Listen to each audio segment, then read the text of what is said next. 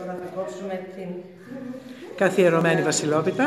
ερωμένη βασιλόπιτα του τμήματος τεχνικών φαρμάκων, βοηθός φαρμακείου μάλλον. Μάλιστα. Λοιπόν, ε, σταυρώνουμε τρεις φορές.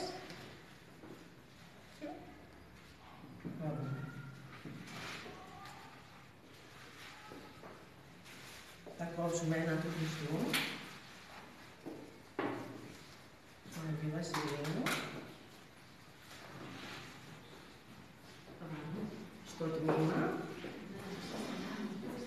Μετά. Λοιπόν, με την ευκαιρία αυτή θέλω να ευχηθώ σε όλους εσάς εκπαιδευτές και καταρτιζόμενους ε, χρόνια πολλά, ε, καλή χρονιά, δημιουργική πάνω απ' όλα.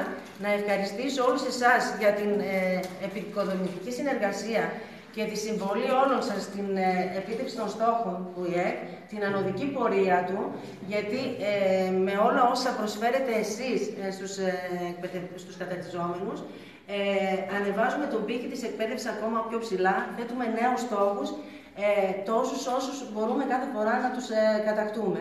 Σας εύχομαι μέσα από την καρδιά μου καλή και δημιουργική χρονιά, επαγγελμα- ε, προσωπική και οικογενειακή ευτυχία σε όλους ε, και καλή πρόοδο, καλή συνέχεια στις, ε, στις σπουδές σας. Ευχαριστούμε, ευχαριστούμε.